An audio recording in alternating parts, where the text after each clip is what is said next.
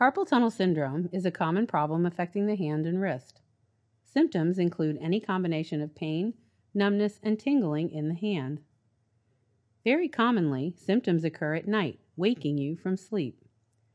All of the fingers except the little finger are usually involved.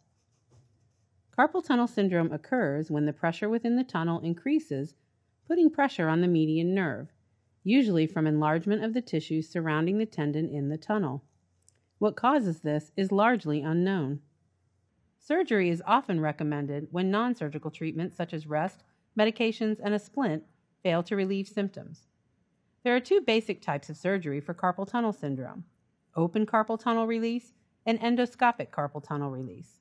The following depicts open carpal tunnel release. All carpal tunnel releases cut the transverse carpal ligament, which forms the roof of the carpal tunnel, taking pressure off the median nerve.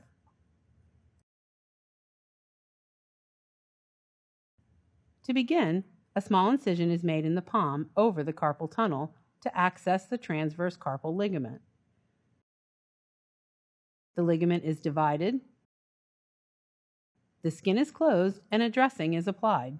Your wrist and hand will be wrapped in a soft dressing, and you may wear a splint to provide support and promote healing. You will be able to move your fingers immediately after surgery and are encouraged to do so. You should avoid heavy grasping or pinching motions for several weeks. Your doctor may recommend that you participate in occupational or physical therapy to gain strength and coordination.